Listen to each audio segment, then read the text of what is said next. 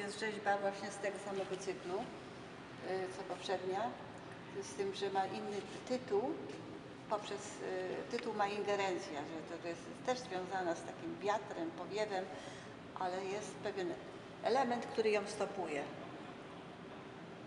Stopuje te... Stopuje ten przewiew. Stabilizacja. Tak. Stabilizacja w ruchu. W ruchu. Coś przeszkadza. No te, te formy pięknie oddają właśnie tytuł, to, co tytuł. jest, Tytuł ingerencja. Tytuł co jest nie, Adekwatny tytuł do y, formy, która to wyraża. świetne. To są takie y, przemyślane prawda, sprawy, na które człowiek nie zwraca uwagi. Takie, no, że może nawet ten wiatr no, nie biec tak, jakbyśmy chcieli.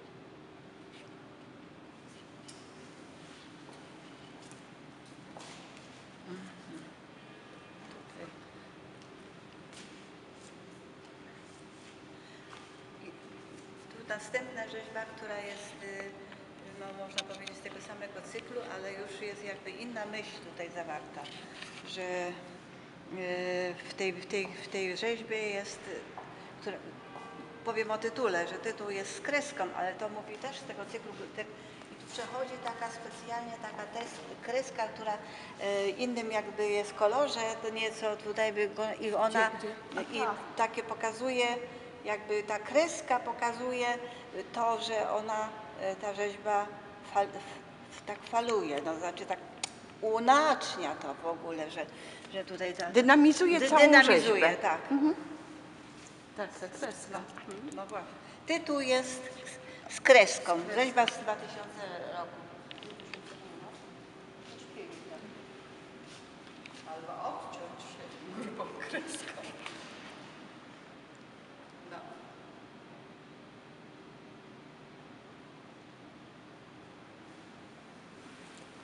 Przepiękne wykończenia, przepiękne. No tu są Staranność, wszystko. To jest kolorystyka, forma, perfekcjonizm, prawda? perfekcjonizm. To jest to, jest Absolutnie. To, można powiedzieć, że to jest cecha charakterystyczna. Zdzisława? Tak, Zdzisława. Ten perfekcjonizm, prawda? e, pre- Precyzyjnie i, i wielka znajomość też technologii, bo, bo, bo, bo Żeby tak z, wykonać rzeźbę, to trzeba znać i tworzywo, prawda? I wiedzieć, jak się je formuje. To jest Jaka to jest Przecudne. technika? Kamionka, yy, szamot? Szamot. Ale jak falują tam u tego huzara te, to skrzydło, jak z tej odległości się stanie, to po prostu widać to falowanie. Widać, jak tłuste do miejsca, prawda? No, coś wspaniałego. Rzeczywiście, to taka, uzyskuje się taką lekkość. Lekkość, tak, one tak jakby były, powiewały na wietrze.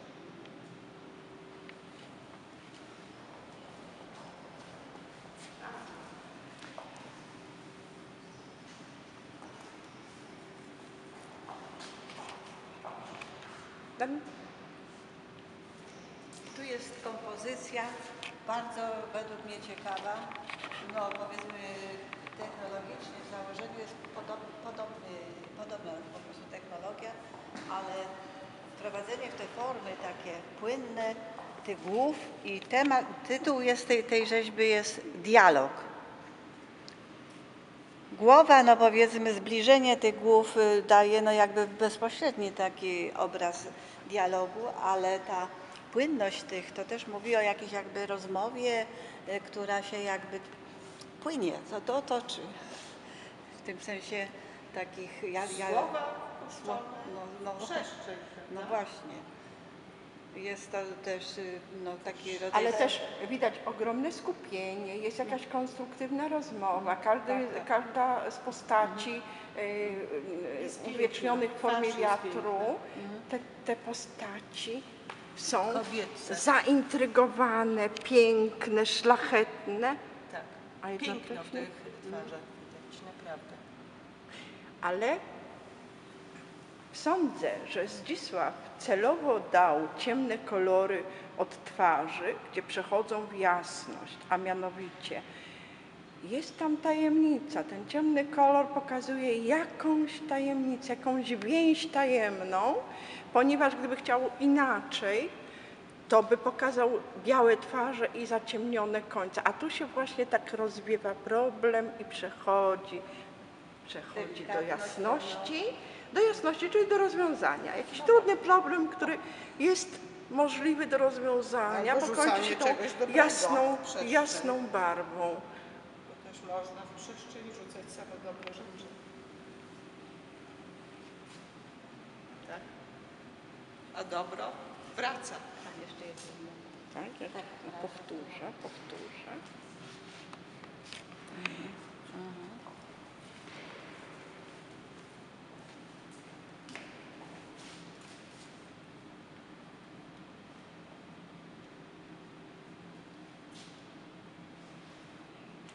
Twarze skierowane w jednym kierunku, tworzące zamknięty jakby krąg, e, a mianowicie takie, taki problem, który w tym własnym gronie muszą rozwiązać. W tym właśnie.